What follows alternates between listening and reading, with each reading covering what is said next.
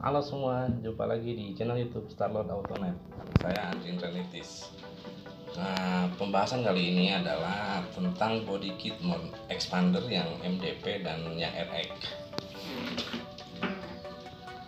Nah, terus pilihan Anda terserah ya, tergantung apa namanya, tergantung dari keinginan Anda dan tergantung style Anda juga gitu.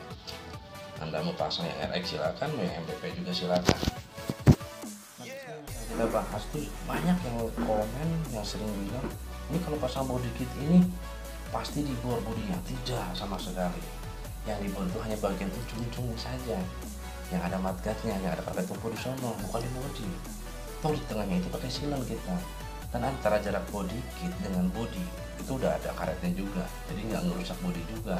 Nah suatu saat jika anda berubah pikiran mau merubah style mobil anda lagi kan yang ke yang lain nah itu anda bisa copotin dilap juga udah bersih.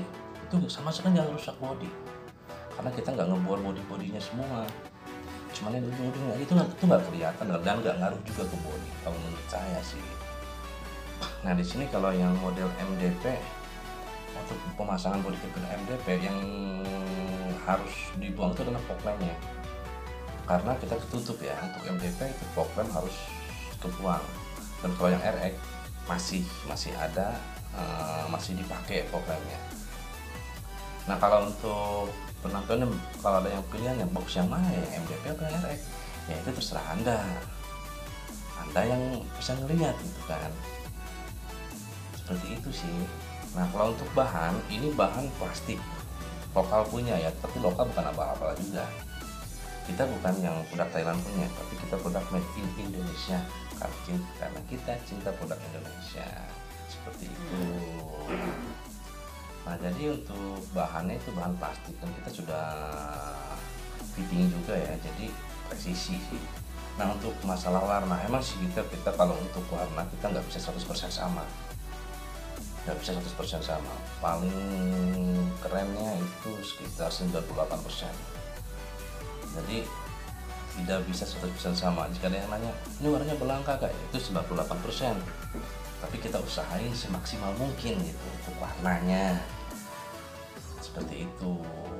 Dan untuk bagian dan untuk harga ini untuk harga ya kisaran di antara nggak nyampe 5 juta lebih lah ya. Itu di bawah di bawah angka 5 juta sih. Nah anda kalau datang ke workshop kita juga bisa. Kita pasang di workshop bisa. Nah untuk pemasangan di di tempat nah itu kita harus merogoh lagi uang saku. Karena kan kita ada biaya transportasi ada biaya pengiriman juga gitu kan. Biaya pemasangan juga. Nah kalau untuk di pemasangan di workshop kita kasih free jasa instalasi. Dan lebih enak juga di workshop kita pasang karena peralatan yang lengkap.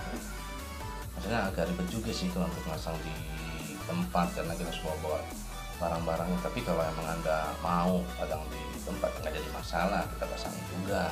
Untuk area Jakarta ya area Jakarta Jabodetabek. Nah, untuk area Bandung untuk area Serang kita tambah biaya yang lumayan agak besar juga untuk biaya transportasinya gitu. Nah sekarang ya untuk style-style yang untuk body kit body kitnya itu ya terserah.